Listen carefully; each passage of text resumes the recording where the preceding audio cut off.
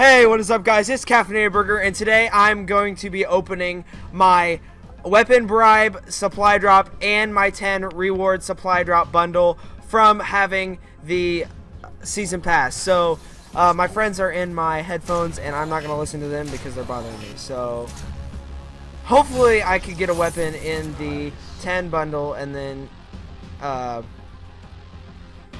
RJ's yelling KYS, but uh, hopefully I can get a weapon out of the bundle and um,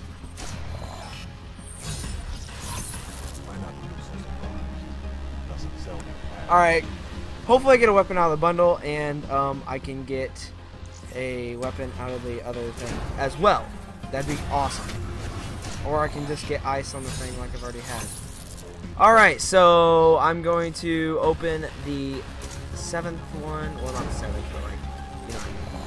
Ah, I'm getting a bunch of stuff I already have. But Pixel, that's pretty cool. I've never seen that before.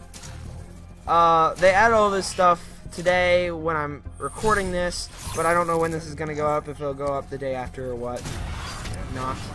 And, um, yeah, hopefully I could get something good. I don't know.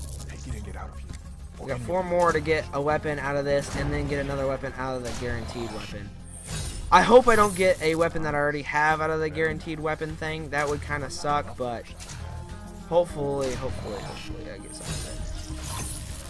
I really, really want the HG40 um, or the uh, brand new FFAR slash FAMAS. And uh, here's the last bundle one, so doesn't look like we're going to get a weapon out of that. But let's go and open the next one. Alright, we're to open the bribe, guys. Here we go. Are we ready? Here we go. Oh, no! Here I go! Ah! No! Oh, I got the Marshal 16. I mean, okay, that's alright, but that's not what I wanted. Um...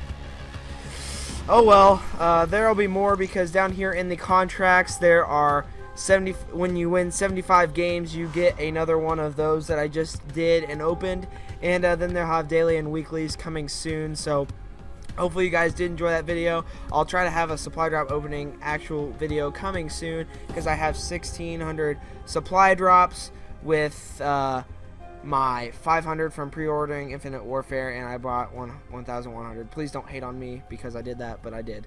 Um, so, see you guys in the next video. Make sure you subscribe and like the video if you enjoyed, and I'll see you all in the next video. Thank you for watching.